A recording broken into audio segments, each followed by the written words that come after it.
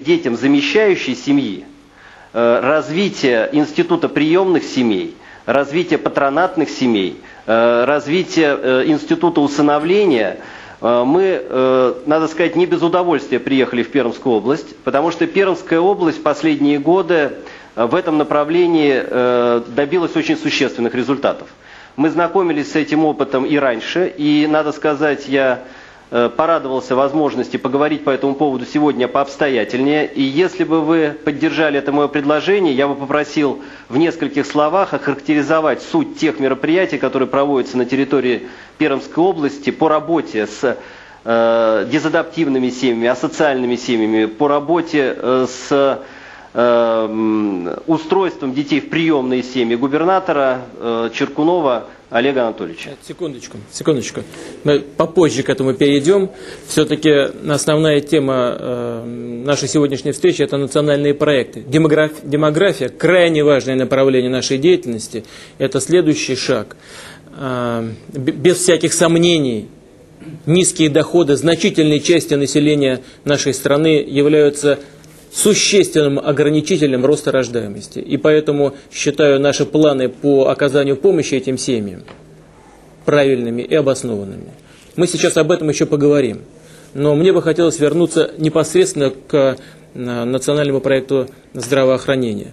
Здесь мы говорим о э, улучшении материально-технической базы здравоохранения. Мы говорим о создании высокотехнологичных центров оказания медицинской помощи по всей территории Российской Федерации. Мы говорим о, увеличении поставок автотранспорта, об увеличении э, заработной платы в системе здравоохранения и как первый шаг это увеличение заработной платы в первичном звене здравоохранения для среднего звена. Но мы не должны забывать и о специалистах. Вы знаете эту тему, она остро дискутируется в профессиональной э, среде медицинской. Мне бы вот хотелось послушать э, вас на вот эту тему, что вы думаете по этому вопросу и как предполагает министерство решать эту проблему, и вас. И вот как раз на эту тему лучше бы я послушал губернатора, как это видится с, э, с его точки зрения, с точки зрения руководителя региона. Пожалуйста. Первое. Вне всякого сомнения, первый шаг, который сегодня сделан по повышению зарплаты специалистам первичного э, звена, шаг революционный. Э, в Коми-Пермятском округе средняя зарплата чуть больше 5000 рублей, при этом специалисты первичного звена теперь имеют среднюю зарплату 18 тысяч. Такого не было никогда. Теперь о том вопросе, который обозначен – Кроме этих вопросов надо решать по всем остальным специалистам.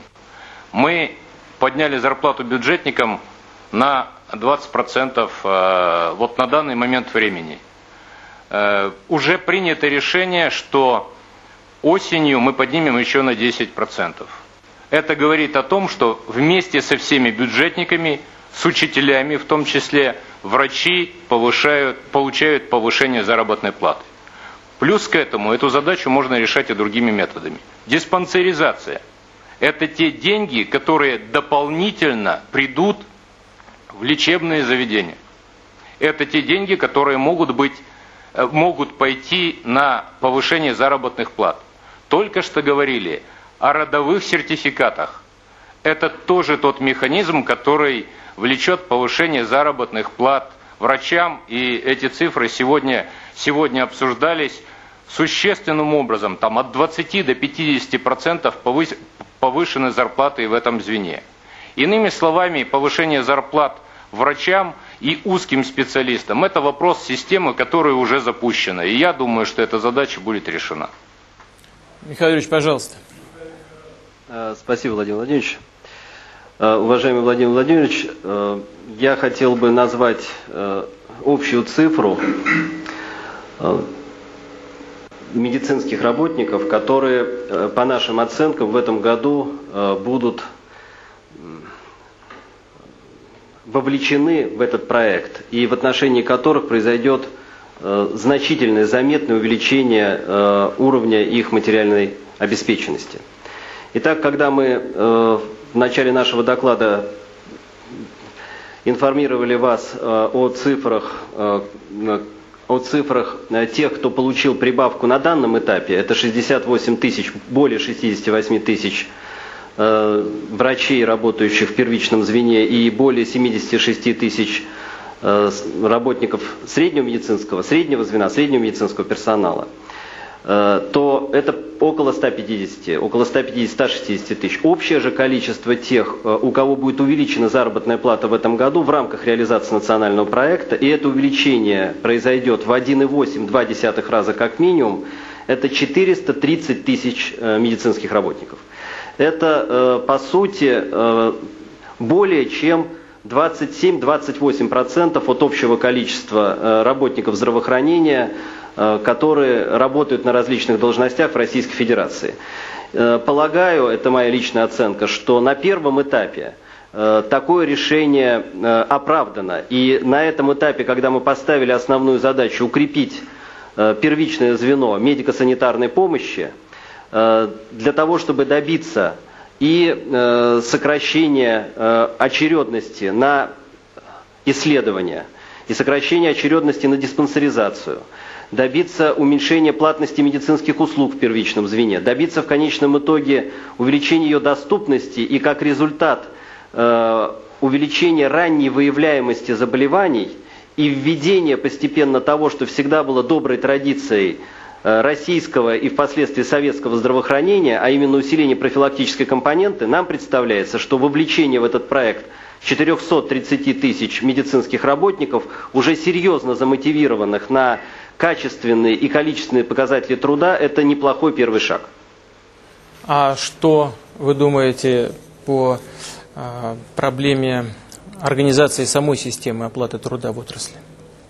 Уважаемый Владимир Владимирович, вы с каждым вопросом ставите все более острые и непростые проблемы в повестку дня.